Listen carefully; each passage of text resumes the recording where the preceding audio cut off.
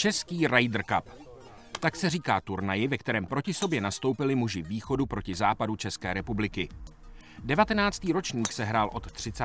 září do 2. října v Praze na Černém mostě.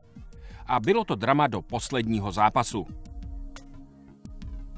V sobotu dopoledne se o první body ve formátu čtyřher na jamky vydalo bojovat 8 dvojic. Odpoledne se pokračovalo čtyřmi zápasy, čtyřmi míči na jamky. Po prvním dnu sahli po trofeji hráči západu, kteří v odpolední části nedali svým soupeřům šanci.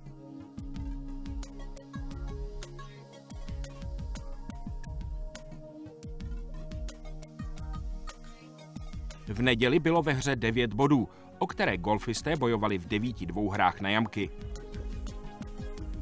Dlouho to vypadalo, že hráči západu pojedou na vítězné vlně a po sedmé v historii turnaje vyhrají. O vítězi se ale rozhodovalo až v posledních zápasech, které nabídly opravdové drama.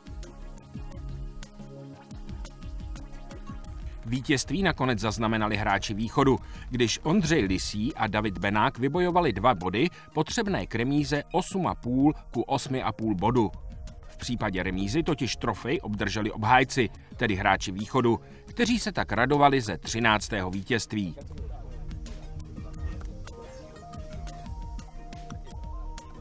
awesome.